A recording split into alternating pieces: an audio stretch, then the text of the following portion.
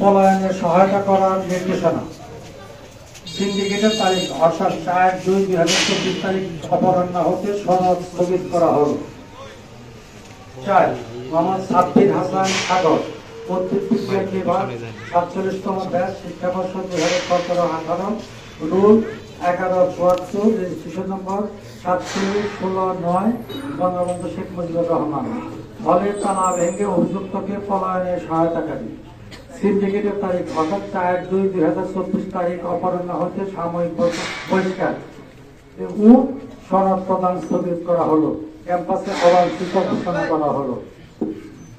পাঁচ A S M Mustafa Monowar Siddiqui, আন্তর্জাতিক সম্পর্ক বিভাগ, ছেচল্লিশতম ব্যাস শিক্ষাবর্ষ দুই হাজার ষোলো সতেরো, রোল নম্বর এগারো অষ্টআশি, রেজিস্ট্রেশন নম্বর চুয়াল্লিশ চুরানব্বই চার মীর মুশারফ হোসেন হল সিন্ডিকেটের তারিখ অর্থাৎ চার দুই দুই হাজার চব্বিশ তারিখ অপরাহ্ন হতে সাময়িক বহিষ্কার ও সনদ প্রদান স্থগিত করা হলো।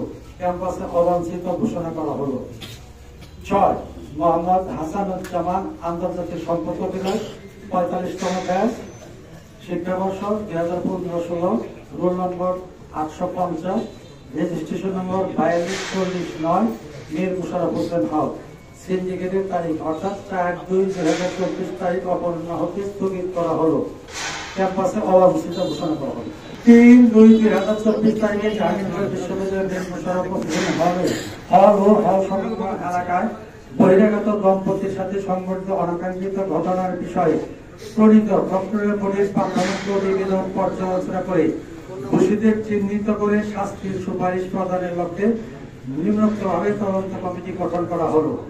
প্রফেসর ডক্টর অসিত কুমার মজুমদার, বাড়ি নম্বর তিনশো পাঁচ রুট নম্বর পনেরো জাহাঙ্গীরনগর বিশ্ববিদ্যালয় কোঅপারেটিভ হাউজিং সোসাইটি, যেটা অন্য নামে পরিচিত সাভার, ঢাকা।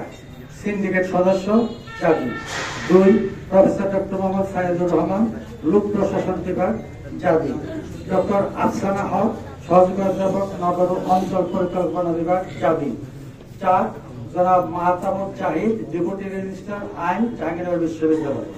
পনেরো দিনের মধ্যে সুপারিশ সহ প্রতিবেদন দাখিলের জন্য অনুরোধ করা হলো।